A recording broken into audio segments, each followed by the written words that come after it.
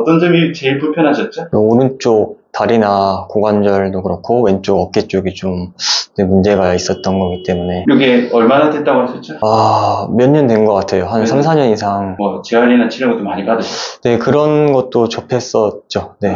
제가 한번 봐드렸는데 지금은 어떠세요? 어, 뭔가 좀 나아진 것 같아요. 180도 달라졌다까지는 아니지만 좀 가닥에 좀 잡힌 느낌을 잡은 것 같고요. 음.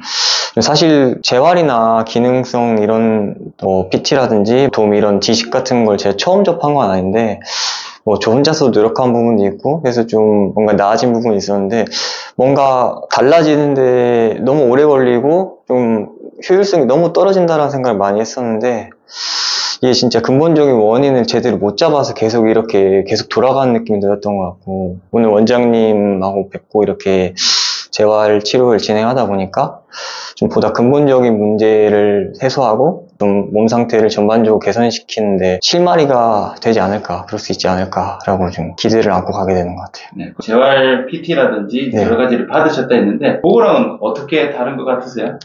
그러니까 사실 뭐 동작 자체는 이렇게 기능을 살려주고 하는 동작 자체는 뭐 이런 거는 거기서도 좀 비슷한 면도 있는데 여기서는 이제 좀 다른 관점에서 좀 뿌리 근육이라는 것 자체를 좀 이렇게 제시해 주는 게 원장님만의 좀 다른 차별화라고 해야 되나? 네, 그런 부분이 좀 확실히 달랐던 것 같아요. 근본적인 문제를 좀 더 짚어주시니까 그런 부분에서 좋았던 것 같아요. 어, 그래서